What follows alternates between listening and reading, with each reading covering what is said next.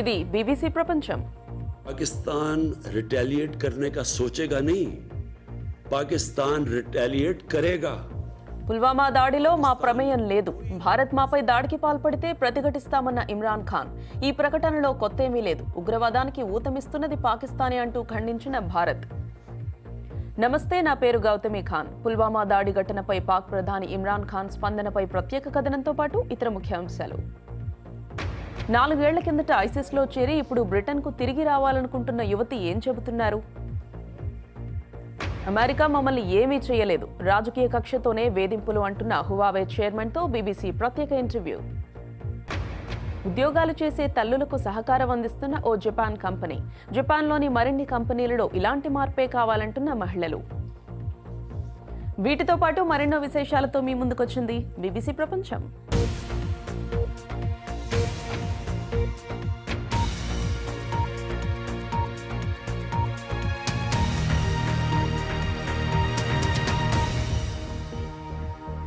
పుల్వామా వద్ద ఘోర దాడి జరిగిన తర్వాత ఐదు రోజులకు పాకిస్తాన్ ప్రధాని స్పందించారు సౌదీ అరేబియా యువరాజు మహమ్మద్ బిన్ సల్మాన్ పాకిస్తాన్ పర్యటన ఉన్నందువల్లనే ఈ దాడి విషయంలో వెంటనే స్పందించలేకపోయానంటూ ఆయన చెప్పుకొచ్చారు అయితే ఇబ్బందుల్లో ఉన్న పాకిస్తాన్ ఆర్థిక వ్యవస్థకు సౌదీ యువరాజు పర్యటన తమకు చాలా కీలకమని ఆయన అన్నారు ఈ దాడిలో పాకిస్తాన్ పాత్రేమీ లేదన్న ఇమ్రాన్ ఇంకా ఏమన్నారో చూద్దాం देखिए हिंदुस्तान में एक نئی سوچ آنی چاہیے۔ ایک انٹرسپیکشن آنی چاہیے کہ کیا وجہ ہے؟ کشمیر کے نوجوان اس انتہا پہ پہنچ چکے ہیں جو وہ موت کا ان کا خوف ہی اتر گیا ہے۔ کوئی تو وجہ ہوگی۔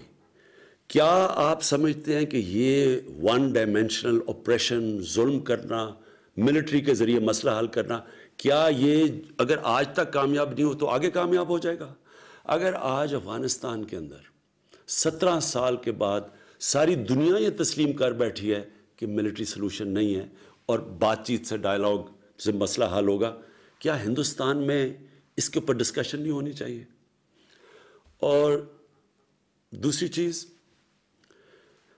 ہم ہندوستان میں سن رہے ہیں، آوازیں سن رہے ہیں میڈیا پہ سن رہے ہیں پولیٹیشنس کی آوازیں آ رہی ہیں کہ پاکستان کو سبق سکھانا چاہیے۔ پاکستان کے اوپر بدلہ لینا چاہیے اسٹرائک کرنی چاہیے۔ پہلے تو کون سا دنیا کا قانون کسی بھی ایک شخص یا ملک کو جج، جوری اور ایکسیکیوشنر بننے کی اجازت دیتا ہے؟ یہ کون سے انصاف کے کے نظام میں ہے دوسری چیز، آپ کا الیکشن کا سال ہے اور ہم سمجھتے ہیں کہ الیکشن میں یہ بڑی بوسٹ ملے گی کہ اگر پاکستان کو سبق سکھایا جائے۔ اگر آپ یہ سمجھتے ہیں کہ آپ پاکستان کے اوپر کچھ، کسی قسم کا حملہ کریں گے پاکستان ریٹیلیٹ کرنے کا سوچے گا نہیں پاکستان ریٹیلیٹ کرے گا۔ అయితే ఇమ్రాన్ ప్రకటనను తోసిపుచ్చుతూ భారత విదేశాంగ మంత్రిత్వ శాఖ ఒక ప్రకటన విడుదల చేసింది. పుల్వామా దాడిని ఉగ్రదాడిగా ఇమ్రాన్ ఒప్పుకోకపోవడంలో ఆశ్చర్యమేమీ లేదని భారత విదేశాంగ శాఖ ఒక ప్రకటనలో తెలిపింది. ఈ ఘటనకు కారకులైన జైషే మహమ్మద్ దాని నేత మసూద్ అజహర్ పాకిస్తాన్ నుంచే కార్యకలాపాలు నిర్వహిస్తున్నారన్న సంగతి అందరికీ తెలిసిందేనని భారత్ పేర్కొంది. పదేళ్ళ కిందటి ముంబై దాడులు పఠాన్కోట్ దాడికి సంబంధించి పాకిస్తాన్కు సాక్ష్యాలు అప్పగించినప్పటికీ ఎలాంటి ప్రగతి లేదని భారత్ తెలిపింది. తెలిపింది. అయితే భారత స్పందనను త్వరలో జరగనున్న ఎన్నికలతో ఇమ్రాన్ ముడిపెట్టడం పట్ల కూడా ప్రకటనలో అభ్యంతరం తెలిపారు. అంతకుముందు భారత army CRPF Jammu Kashmir police విభాగం సంయుక్తంగా ఈ రోజు విలేకరుల సమావేశాన్ని ఏర్పాటు చేశారు. వారేమన్నారో చూద్దాం. As you are aware, that convoy attack was carried out by Jaish Mohammed. కాన్వాయ్పై కారు బాంబు దాడికి పాల్పడింది జైషే మహమ్మద్ అన్న విషయం మీకు తెలిసిందే. ఆ సంస్థ పాకిస్తాన్ నుంచి తన కార్యకలాపాలను సాగిస్తోంది. పాకిస్తాన్ సైన్యం అట్లాగే ఐఎస్ఐ సాయంతోనే ఆ సంస్థ దాడులు చేస్తోంది. ఆ సంస్థ స్థానిక కమాండర్లు ఎక్కువగా పాకిస్తాన్కు చెందిన వారే ఈ దాడికి పథకం రచించి అమలు చేసిన వాళ్ళంతా కశ్మీర్ లోయలో జైష్కు చెందిన టాప్ కమాండర్లు.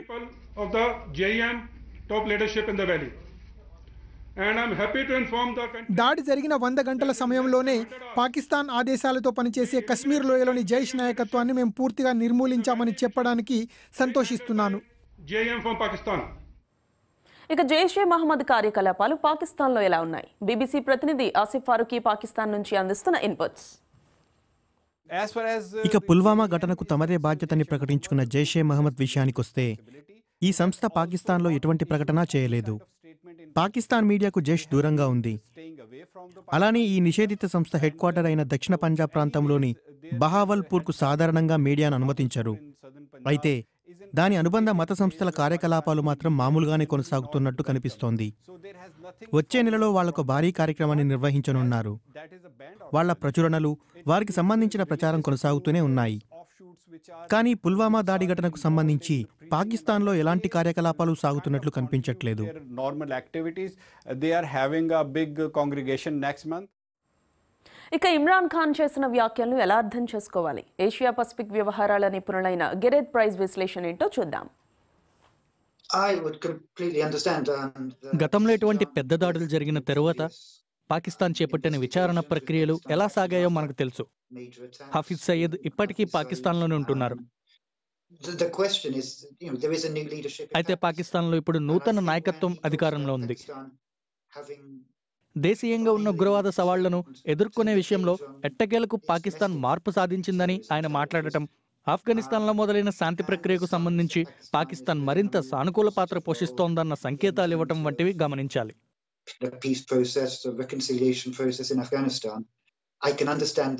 భారత్ సందేహాలను అర్థం చేసుకోవచ్చు కానీ భారత్ పాకిస్తాన్లు బీబీసీ ప్రపంచంలో విరామం తర్వాతి విశేషాలేంటో చూద్దాం. నాలుగేళ్ళ క్రితం బ్రిటన్ నుంచి సిరియాకు పారిపోయి ఇప్పుడు మళ్ళీ వెనక్కి రావాలనుకుంటున్న బ్రిటిష్ యువతి. రాజకీయ కక్షతోనే నా కూతుర్ను అరెస్ట్ చేశారు బీబీసీతో హువావే చైర్మన్ రెన్ జెంగ్జీ. వివరాలు వచ్చిన బ్రేక్ తర్వాత.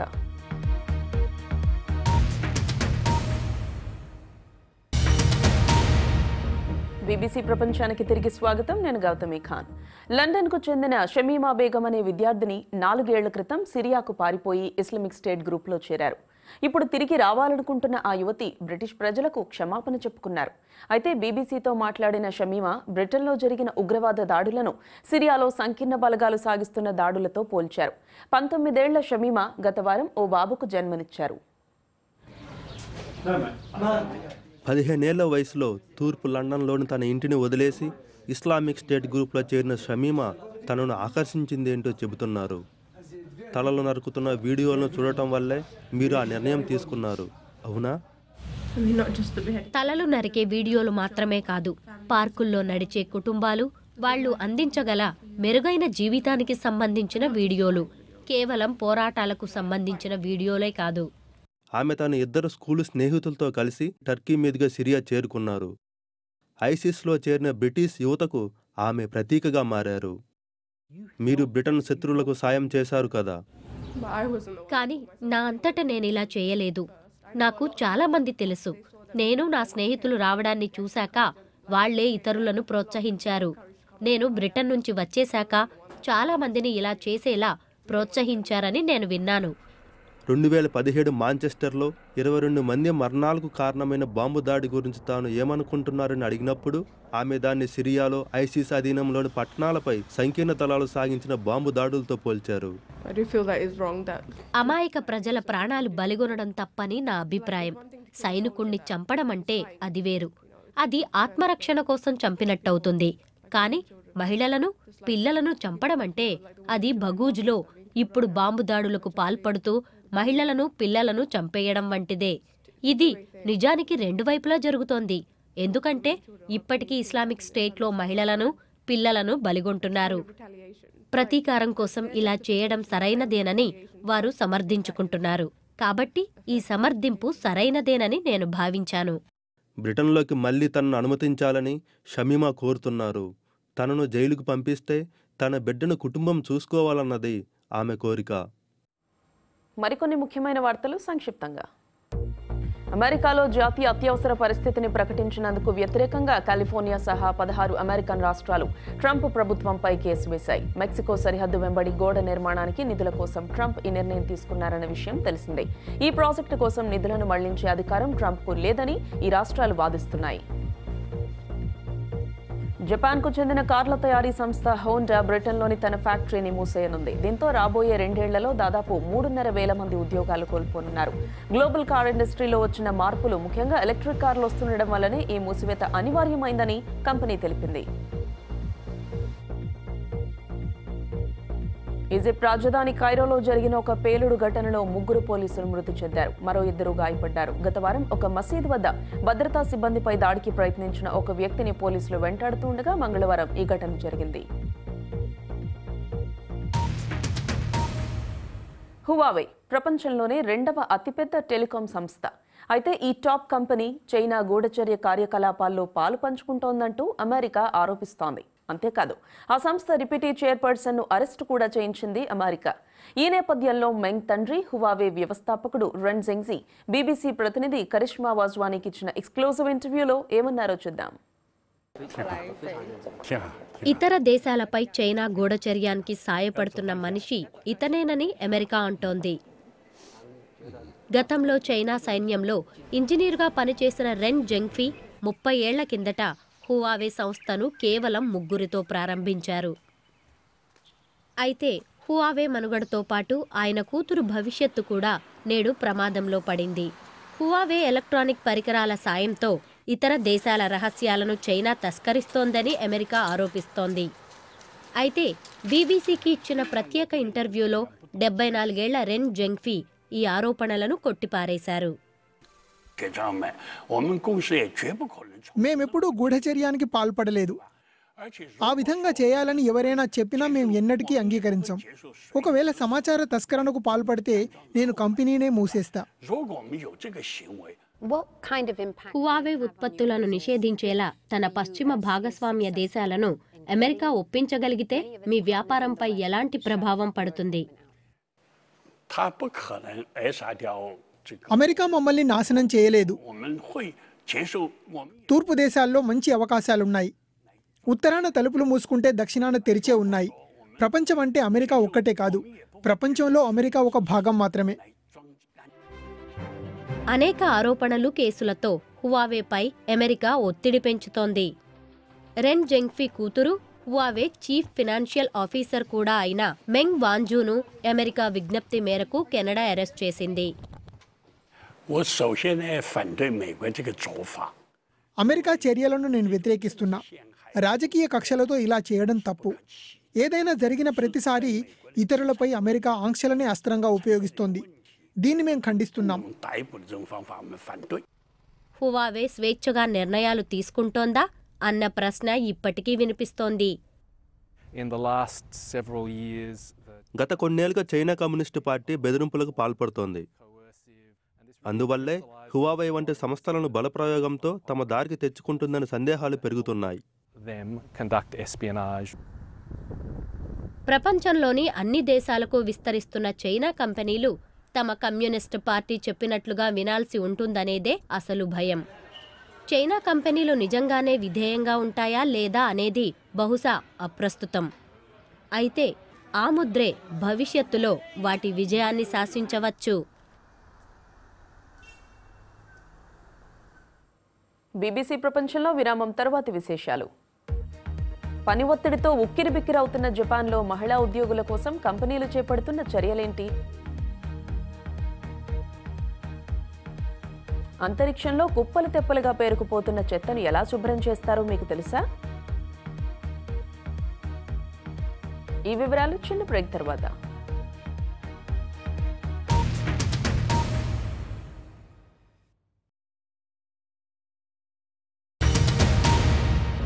బీబీసీ ప్రపంచానికి తిరిగి స్వాగతం. నేను గౌతమి. విమెనామిక్స్ జపాన్ ప్రభుత్వం ఇటీవల చేపట్టిన సరికొత్త విధానం. మరింత మంది తల్లులను ఉద్యోగాలు చేసేలా ప్రోత్సహించడమే ఈ విధానం యొక్క విశేషం. అయితే దీంతో మరో సమస్య తలెత్తింది. పని స్థలాల్లో పిల్లల సంరక్షణ కేంద్రాలు లేకపోవడం ఒక పెద్ద సవాల్గా మారింది. అయితే ఓ కంపెనీ దీనికో పరిష్కారాన్ని కనిపెట్టింది. వర్క్ లైఫ్ జపాన్ సిరీస్లో భాగంగా బీబీసీ ప్రతినిధి మ్యారికో ఓయి అందిస్తున్న కథనం. లైన్ అనే కంపెనీ ఉద్యోగాలు చేసే తల్లిదండ్రులకు సహాయకరంగా ఉండే కంపెనీగా పేరుగాంచింది. ఇక్కడి ఉద్యోగుల సగటు వయసు ముప్పై నాలుగేళ్ళు వారిలో దాదాపు సగం మంది మహిళలే. ఉద్యోగులను ఆకర్షించి వాళ్ళను పనిలో నిలబెట్టుకునేందుకు ఇటీవలే ఈ కంపెనీ పని స్థలంలోనే ఒక నర్సరీని తెరిచింది. అలా లైన్ జపాన్లో ఇలాంటి సౌకర్యం ఉన్న అతి కొద్ది కంపెనీల సరసన చేరింది. ముప్పై ఎనిమిదేళ్ళ చిహారు సుగియామా ఈ కంపెనీలో ఐదేళ్ళుగా పనిచేస్తున్నారు. ఆమెకు రెండేళ్ళ వయసున్న రీక్యూ అనే బాబున్నాడు. కాన్పు తర్వాత కూడా తాని ఉద్యోగం మానేయాలని ఆమె అనుకోలేదు. కంపెనీలో ఉండే నర్సరీ ఆఫీసు వేలలకు మించి అంటే ఉదయం తొమ్మిది నుంచి రాత్రి తొమ్మిది వరకు పనిచేస్తుంది. పైగా దీని సేవలకు కంపెనీ పెద్ద మొత్తంలో సబ్సిడీ అందిస్తుంది. దాంతో సుగియామాకు మధ్యాహ్న భోజన సమయంలో తన బాబు రీక్యూతో గడిపేందుకు వీలు కలుగుతుంది. వాడికి ఆరు నెలలు నిండినప్పటి నుంచి నేను పనిలోకి వస్తున్నాను. అప్పటికీ నేను పాలిస్తుండేదాన్ని. కాబట్టి నేను పని చేస్తూనే మధ్య మధ్యలో నర్సరీలోకి వచ్చి వాడిని చూసుకునేదాన్ని. వాడికి పాలు కూడా ఇచ్చేదాన్ని. నర్సరీ మాకు చాలా దగ్గరే కాబట్టి ఇది చాలా రిలీఫ్ అనిపిస్తుంది. దేశ ప్రధాని ఆబే విమెనామిక్స్ అంటే మహిళలను పనిచేసేలా ప్రోత్సహించే విధానాన్ని తన ప్రాథమ్యాల్లో ఒకటిగా ప్రకటించారు. ఉద్యోగాలు చేసే తల్లులను మరింత బాగా ఇముడ్చుకునేలా కంపెనీలు ఉండాలన్నది ఆయన అభిప్రాయం. అట్లాగే మరింత ఎక్కువ మంది మహిళలను నాయకత్వ హోదాల్లోకి తీసుకురావాలి. పరిస్థితులు నెమ్మదిగా మారుతున్నాయి. అయితే ఉద్యోగాలు చేసే తల్లుల సంఖ్య ఇప్పుడు ఎక్కువ అవుతుండడంతో పిల్లల సంరక్షణ కేంద్రాలు లేకపోవడం అనే సమస్య జపాన్ను పట్టి పీడిస్తోంది. మరో పనిదినం ముగిసింది. సుగియామా తన బాబును సాయంత్రం ఏడు గంటలకు నర్సరీలోంచి తీసుకెళ్తారు. ఇక్కడ చాలామంది ఆఫీసు ఉద్యోగుల్లాగే ఆమె కూడా చాలా ఎక్కువ గంటలు పనిచేసేవారు. తరచుగా అర్ధరాత్రి వరకు పనిచేస్తుండేవారు. అయితే కాన్పు తర్వాత వెసులుబాటుతో కూడిన పని గంటలను ఎంచుకునేలా కంపెనీ ఆమెను అనుమతించింది. దేశంలో ఉన్న శ్రమశక్తి కొరత కారణంగా కొన్ని కంపెనీలు పని పరిస్థితులను ఉద్యోగులకు మరింత సౌకర్యంగా ఉండేలా మార్పు చేస్తున్నాయి.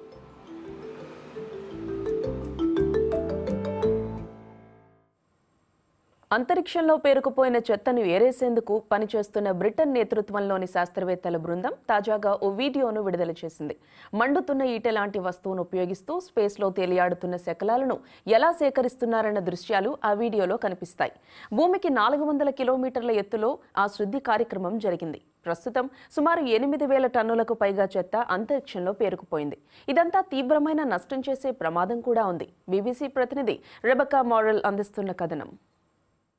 అంతరిక్షంలోని చెత్తను ఏరివేయడమే లక్ష్యంగా ఈటెను వెలిగించి విడిచిపెడుతున్న దృశ్యాలివి. భూమికి నాలుగు వందల కిలోమీటర్ల ఎత్తులో దీన్ని చిత్రీకరించారు. రిమూవ్ డెబ్రీ స్పేస్ క్రాఫ్ట్ నుంచి సాగుతున్న తాజా ప్రయోగమిది. సర్రే యూనివర్సిటీ నేతృత్వంలో అంతరిక్షంలోని చెత్తను తొలగించేందుకు చేస్తున్న ప్రయోగమిది. అంతరిక్ష వ్యర్థాలను ఏరివేసే సాంకేతిక పరిజ్ఞానాన్ని పరీక్షిస్తున్నారు.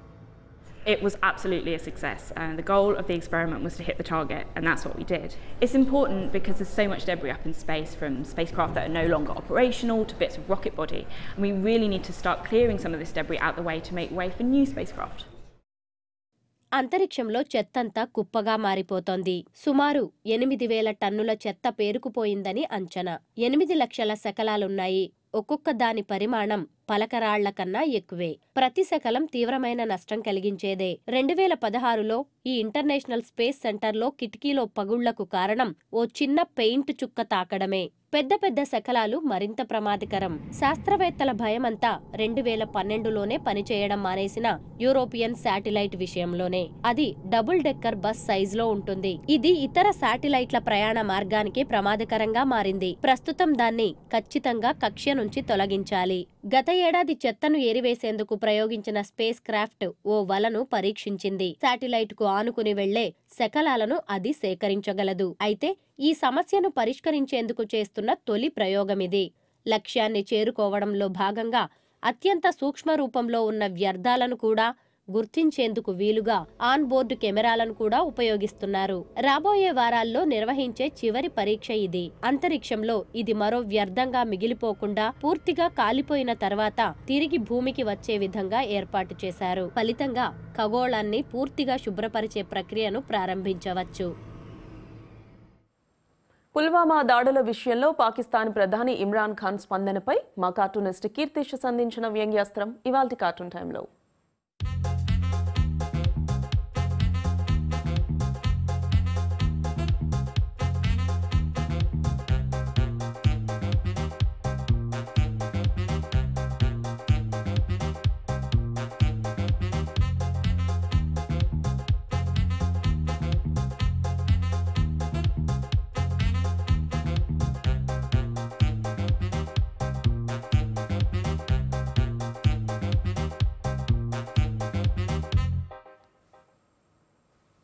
రాజకీయ సంక్షోభంలో చిక్కుకున్న వెనెజువెలాకు అమెరికా తన సైనిక విమానాల ద్వారా మానవీయ సహాయం అందిస్తోంది. అయితే తమ దేశంలో మానవీయ సంక్షోభం లాంటిదేదీ లేదని అధ్యక్షుడు నికోలస్ మదూరో అంటున్నారు. ఈ సాయం నిజానికి అమెరికా చేయబోయే దాడికి ఒక మేలి ముసిగేనని ఆయన అభిప్రాయం. ఈ సహాయాన్ని తమ సైన్యం అడ్డుకుంటుందని ఆయన అంటున్నారు. అయితే అసలు అక్కడి సామాన్య ప్రజల పరిస్థితి ఏ విధంగా ఉంది? ఈ పరిస్థితులపైన వారేమంటున్నారు? రేపటి బీబీసీ ప్రపంచంలో చూద్దాం.